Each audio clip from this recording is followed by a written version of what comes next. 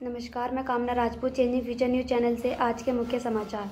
राष्ट्रीय सुरक्षा से खिलवाड़ कर रही है सरकार कांग्रेस। कांग्रेस के प्रधानमंत्री नरेंद्र मोदी ने सरकार की सुरक्षा से समझौता करने का आरोप लगाते हुए कहा कि चीन दुस्साहस कर हमारी ज़मीन पर कब्जा कर लगवान घाटी पर अपना झंडा फहराता है, लेकिन श्री मोदी इस मुद्दे पर चुप्पी साधे हुए हैं।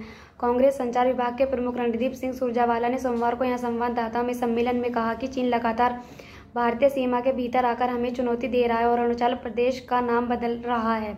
और वहाँ कई गाँवों के साथ ही करीब पंद्रह जगहों के नाम बदलता है, लेकिन चीन के इस दुस्साहस पर सरकार चुप्पी बैठी है और श्री मोदी कुछ नहीं बोल रहे। उन्होंने मोदी को कमज़ोर प्रधानमंत्री करार देते हुए कहा कि चीन लगातार भारत की चुनौती दे रहा है, लेकिन मोदी सरकार इस बारे में कुछ भी नहीं बोल रही। उनका कहना था कि मोदी सरकार को देश की सुरक्षा से समझौता करने की बजाय चीन को करारा जवाब देना चाहिए। प्रवक्ता ने कहा कि सरकार को बताना चाहिए कि आखिरी गलवान घाटी में अपना झंडा फहराने की चीन की हिम्मत कैसे हुई। उसने अपनी भाषा में वहाँ लिखा है कि वह इस ज़मीन को भारत को नहीं लौटाएगा।